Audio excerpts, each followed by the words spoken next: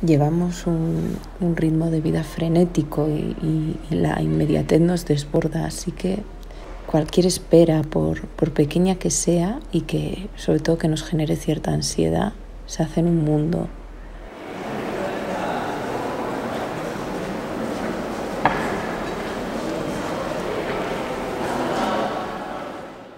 Creo que he sido siempre muy buena esperadora, siempre he tenido mucha paciencia. Y el recuerdo que tengo de, la espera más larga fue después de haber escrito una carta a un amigo que vivía lejos. Nos veíamos de vez en cuando, éramos amantes.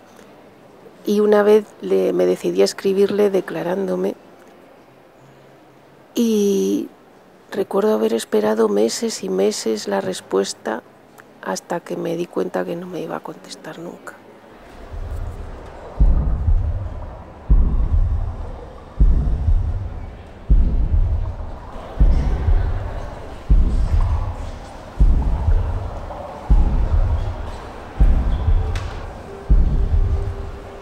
Estuve esperando desde los aproximadamente 13 años hasta los aproximadamente 30 años encontrar un alma que se pareciera a mí.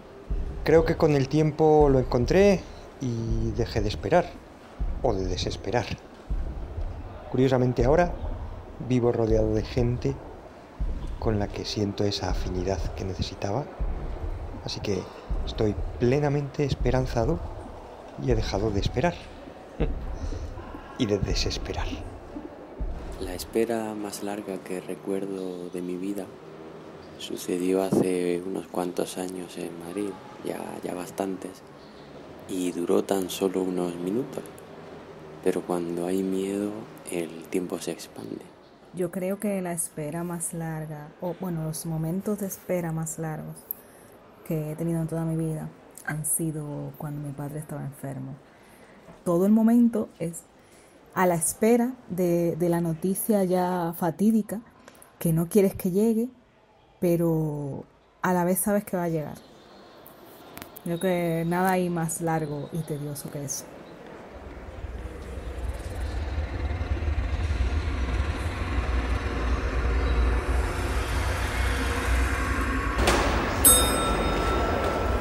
La espera más larga de mi vida.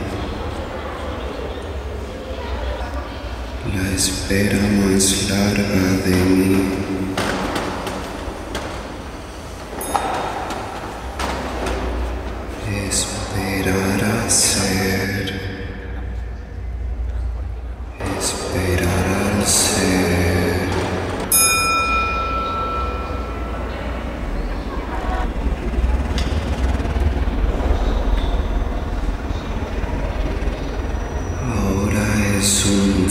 Círculo que conecta hoy con mañana.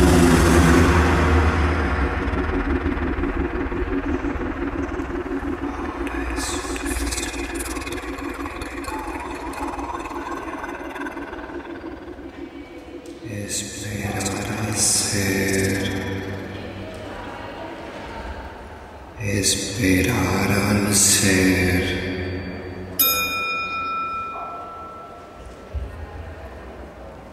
El cuerpo señale en la dirección correcta.